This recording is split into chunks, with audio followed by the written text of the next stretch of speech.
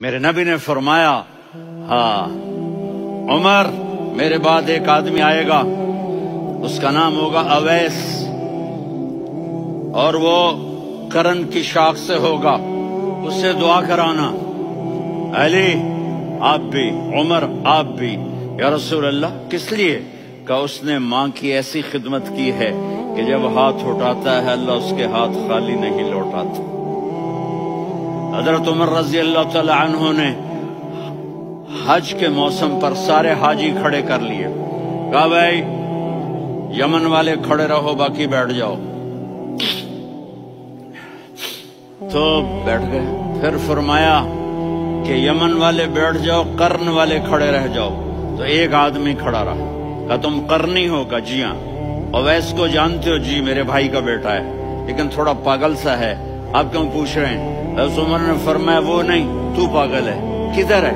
कहा जी, ऊँट चराने गया है।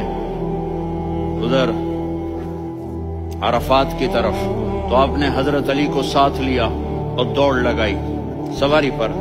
देखा तो अवैस करनी एक कीकर के नीचे नमाज़ पढ़ रहे थे और ऊँट चल रहे थे। तो जब उन्होंने देखा कि दो आदमी आके बैठ गए तो उन्होंने नमाज़ शॉर्टकट कर दी। तो हरसुमन ने पूछा, कौन हो भाई? कहा, जी, मैं मजदूर हूँ। कहा, तेरा नाम क्या है?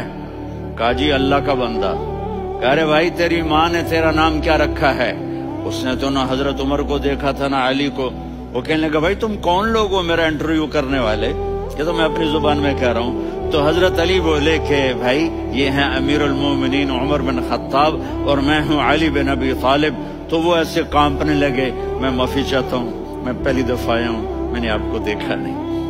फरमाइए, आप हज़रत उमर ने कहा हाथ उठा हमारे लिए दुआ तो वो रोने लगे नबी के सहाबी, मैं आज इस मस्किन में दुआ करूँ। मेरी औकात है, मैं दुआ करूँ। कहा, हमें हमारे नबी ने फरमाया था वैसा है तो दुआ करवानी है।